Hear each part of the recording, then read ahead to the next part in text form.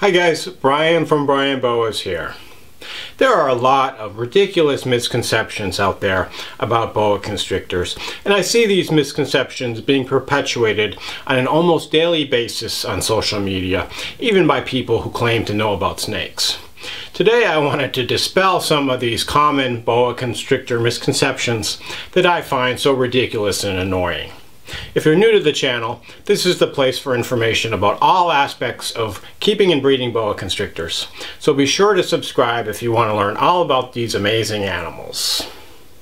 The first ridiculous boa misconception is that boa constrictors are giant snakes, and I see this everywhere. Most of the write-ups online about boa constrictors, they make claims like the average size is 10 feet long and they can get up to 18 feet long and so they just generally greatly over exaggerate the size of these animals.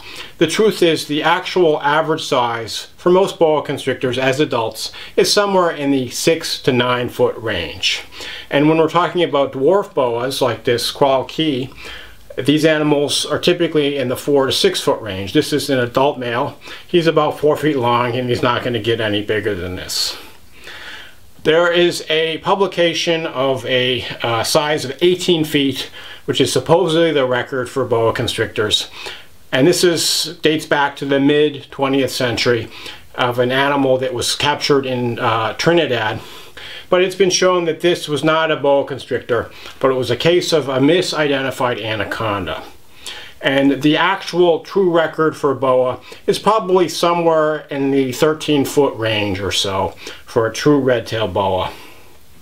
And these animals are extremely rare. This is like a human that's eight feet long, or eight feet tall rather, not long. Humans can get that tall, but it's literally less than one in a, in a probably one in a billion. So boa constrictors are not giant snakes, but they're in the medium to large size range. The next misconception is that boa constrictors are dangerous and often result in human fatalities. And this is completely untrue. In fact, I haven't seen a single well-documented case of a boa constrictor related fatality. And if you do, if you know of one, please let me know. Please post below in the comments or message me. I would love to hear if you have a documented case. I found one report on the internet of a man in Nebraska in 2010 who supposedly was killed by his pet boa constrictor. And all it says is the animal was 9 feet long and 25 pounds. They don't give any other information other than that. And people have been killed by pythons. Every few years you hear about a fatality due to a python. But often people misidentify boas and pythons. They think they're basically the same thing. I've even seen National Geographic documentaries where they show a picture of a python when they're talking about boas and vice versa, which drives me up the wall. Um, but boas are really not dangerous animals. If you look at the actual fatalities, you're much more likely to be killed by a pet dog or a farm animal or even a bee sting. A related misconception is that boas are aggressive and bite a lot. And I recently did an episode about boa bites. I don't want to give people the wrong impression. Boas, of course, can and do bite, but the actual truth is the vast majority of boas are not aggressive and it's relatively easy to avoid getting bitten even if you have an aggressive boa. So if you're thinking about a pet boa but you're concerned about being bitten, I would say this is a very minor concern and it shouldn't stop you from getting the boa that you've always wanted. The next two misconceptions are around feeding your boa. And the first is about how often you should feed your boa. And this is a major subject of debate. And if you look at a lot of the older literature, and by older I mean books from the 90s and early 2000s, they indicate in general you should feed a boa once a week. And for most boas, this is going to be too much. It's going to result in an obese boa that's going to be unhealthy with a greatly shortened lifespan. I've done quite a number of videos about the proper feeding regimens for boas, so you know check one of those out if you want more information. What I've seen is a reaction to this guideline that you should feed once a week is that people are erring on the extreme low side of what should be fed. And I've even seen people that claim they only feed baby boas once every four to six weeks, something like that, because they don't want to feed it too much. And that's ridiculous also because you're just starving your boa and if it's even surviving you're going to greatly stunt its growth. Again, I've gone into a lot of detail about this topic, but I'll say that most boas should eat somewhere between every 10 days and every four weeks, depending on their age and their body condition. A related misconception is that boas need to eat live food and that if you don't provide them with live food, they're going to be missing out on an important behavior of constricting and it's not going to be as healthy. And the truth is this is not true at all. The vast majority of boas have no problem at all eating frozen thawed uh, rodents. They don't need any kind of live food. Some of them, at first, you might need to kind of jiggle the, the uh, rodent to make it look alive, but the vast majority of established boas you don't need to pretend that the, the rodent is alive. Unfortunately, there are a small number of exceptions to this rule. For example, this is a three-year-old Honduran firebelly boa, and this female is just insistent upon eating a live mouse. Uh, you know, she just, for whatever reason, is kind of picky, and you know, I kind of spoil her by giving her the live mouse on, you know, on a regular basis. Hopefully I can wean her off before she reaches adulthood. Um, but you know, out of all the hundreds of snakes I've worked with, or hundreds of boas, there's only a handful that have insisted upon eating live rodents, and the vast, vast majority have no problem taking freeze thawed. And it's also just as healthy as the live rodents, provided that the food is fresh and it's raised on a balanced diet. The next two misconceptions are about your boa's enclosure.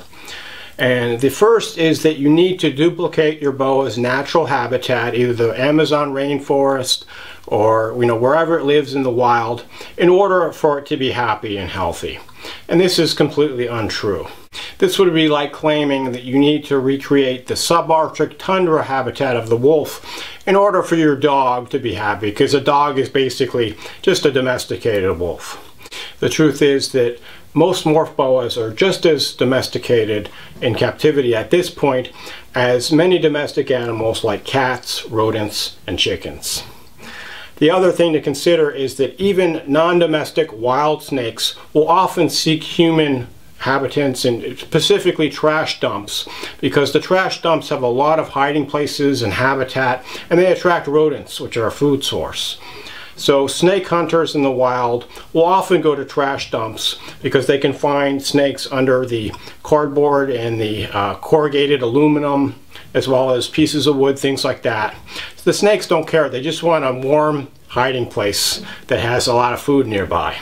So as long as you're providing the right environmental uh, conditions, the temperature, the humidity, the space, and importantly the hiding places for your boa to feel comfortable, your boa is going to be completely fine and healthy in a cage that doesn't look at all like its natural habitat. So some people do like creating naturalistic vivariums and they are beautiful to look at and you know I really enjoy seeing these things at zoos. You know if I had the time I probably would set one up myself. So if you want to do that that's great. That's fine. Your, your boa will love it and enjoy it and you'll as the pet owner will love looking at your boa in there. But it's really not necessary for his or her health and well-being. One additional misconception about cages, which I thought no one believed anymore, but I actually saw somebody claiming this the other day, is that your boa will only grow to its enclosure size. So if you keep it in a cage, it's only two feet long, it's not going to grow more than two or three feet. And this, of course, is completely untrue. Your boa is going to continue to grow as long as you're feeding it, and it's going to reach its adult size regardless of the size of the enclosure. So if you want a smaller boa that's not going to need a very large enclosure, you should seek out one of the dwarf or semi-dwarf forms of boa like the Tarahumara or Crawl Cay uh, dwarf boa. One more really ridiculous misconception about your boa's enclosure is that boas are social and they need a cage mate in order to be happy. They need another snake or boa to keep them company. And this again is uh, really ridiculous and I didn't think people really believed this, but I see this on a pretty regular basis. And it's interesting because the reaction on the BOA boards, if anyone asks about cohabitation, it's almost asking like a taboo subject. And people just go ballistic and they shred the person. And you know, I don't really like that either, which is, you know, one of the reasons I left Facebook and I set up this channel. So, you know, hopefully a, a less hostile place to get BOA information.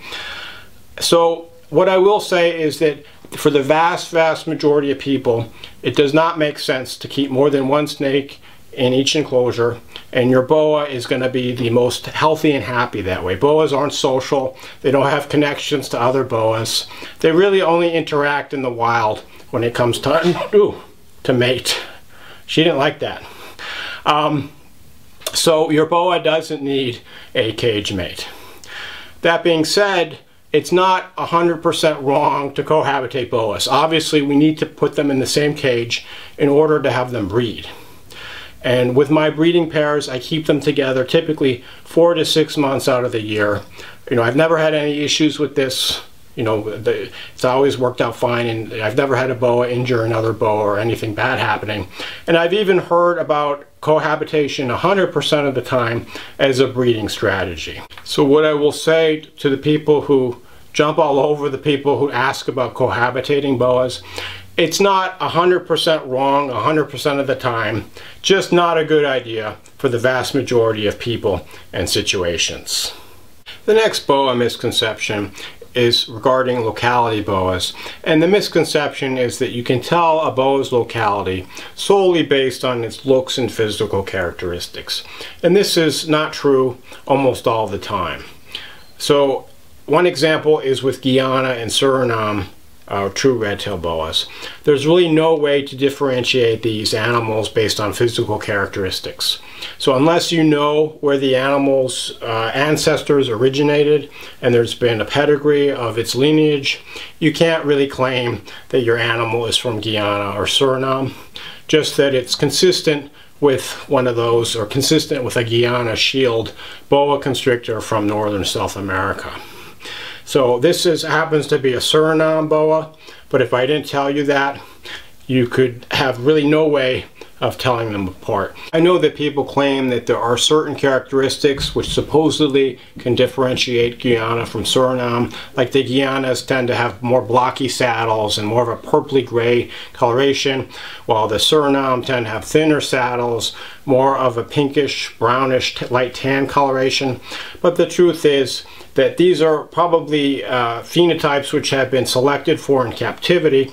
In addition, in the past, the exporters would typically take animals from both Suriname and Guyana and just separate them based on what they thought a Guyana or Suriname boa should look like. So there's really no way of telling for sure. And scientifically, biologically, they're this really the same thing. So a related misconception has to do with saddle shapes in true red-tail boas. And I see this all the time. There's this claim that if it doesn't have the peak saddles like this animal, it's not a true red-tail boa. So you can see the peak saddles on this animal. They have these projections that point towards the tail and towards the front of the boa. And a lot of true red-tail boas do have these peak saddles. However, not all of them do. And just because they don't doesn't mean that it's not a true red-tailed boa. Conversely, a lot of non-red-tailed boas do have some peaking in the saddles, including boas like uh, and some of the Boa Imperator, the Colombian uh, Imperator boas, but they're not true red-tailed boas. They're not boa constrictor constrictor. This is an example of a true red-tailed boa, boa constrictor constrictor, and you can see it does not have the peak saddles. It has these nice round saddles. And this animal not only is a Suriname true red-tailed boa, but it's a full sibling and littermate to the male I just showed you. So even from the same two parents, you can get a range of phenotypes in the offspring as far as the saddle shape, and both peaked and non-peaked saddles are present in true red-tailed boas. So the final misconception I wanted to discuss, I hear a lot, and it's that boa breeding is a very lucrative and glamorous pastime or career. You know, and the truth is, as much as I love it, it's really not glamorous nor uh, very money making. In fact, I did a episode entitled Making Money Breeding Boas, so check that one out if you're interested in the details. But as the old adage goes, what is the best way to make a small fortune breeding boas? You start with a large fortune. And the truth is, the vast majority of people who try to do this to make money are going to end up not making any money. He's trying to get up there. maybe something's in the air today and the snakes are a little restless. But the vast majority of people don't make up, uh, don't end up making any money breeding boas.